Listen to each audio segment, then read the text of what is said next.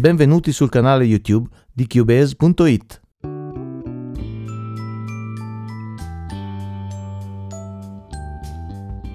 È ora possibile richiamare Mix Console in una pagina separata o nella zona inferiore dal menu periferiche o con comandi da tastiera, oltre che dal consueto pulsante nella toolbar della finestra progetto.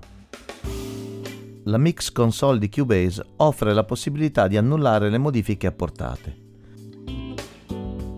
Variazioni di volume, pampot, inserimento di plugin e modifica parametri, routing e in generale tutte le operazioni che si possono compiere sul mixer di Cubase possono essere ripristinate utilizzando tasti specifici, comandi da tastiera o una undo history.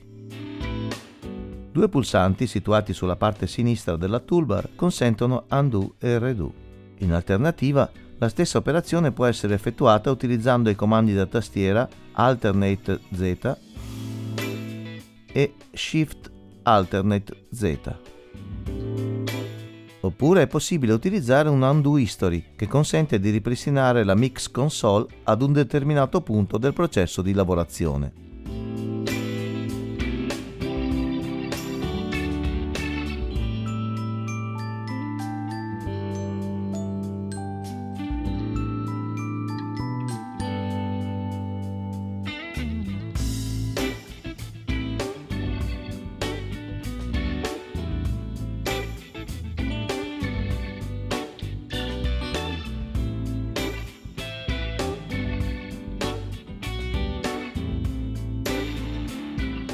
La finestra della Mix Console è stata ridisegnata per una maggiore facilità d'uso.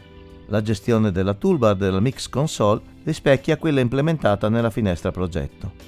Tre pulsanti consentono di nascondere le zone sinistra e destra e di nascondere o mostrare il rack dei canali, mentre un quarto pulsante attiva la finestra di configurazione del layout. Un ulteriore menu di configurazione permette di personalizzare la toolbar.